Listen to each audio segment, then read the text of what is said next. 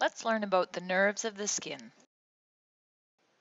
There are three different types of nerves in the skin. Sensory nerves, motor nerves, and secretory nerves. Sensory nerves. Your sensory nerve fibers are responsible for your sense of touch.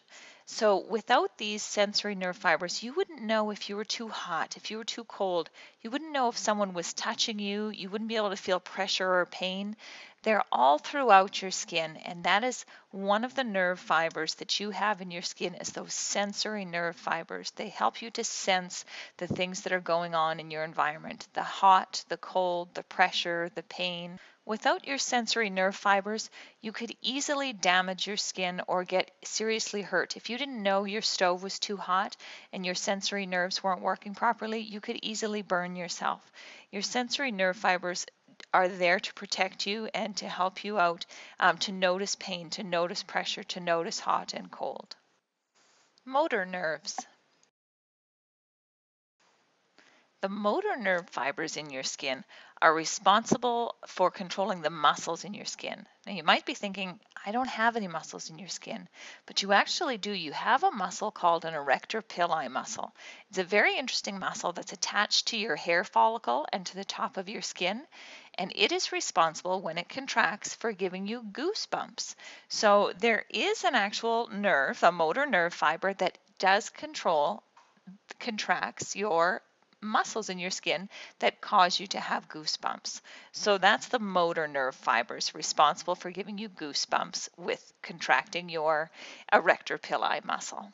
So whenever you can see goosebumps going on, you know that's just your skin getting its workout.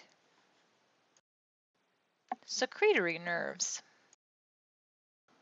The other type of nerve fibers that you have in your skin are called secretory nerve fibers. And if you can think of those, that they secrete um, substances from your skin. So they secrete sweat. So the secretory um, nerve fibers are responsible for your sweat glands, releasing sweat from your sweat glands and they're also responsible for, for releasing the oil from your oil glands. Often the oil is called sebum, and the technical name for the gland is the sebaceous gland.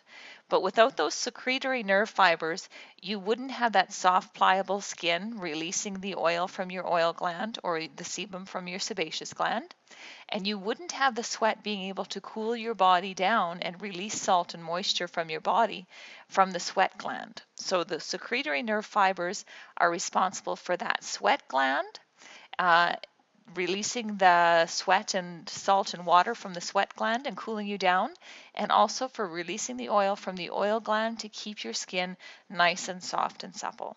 So there's those two types of glands in the skin, the oil gland and the sweat gland, and the secretory nerve fibers are responsible for helping those to produce enough sweat to keep your body cool and enough oil to keep your skin soft and pliable.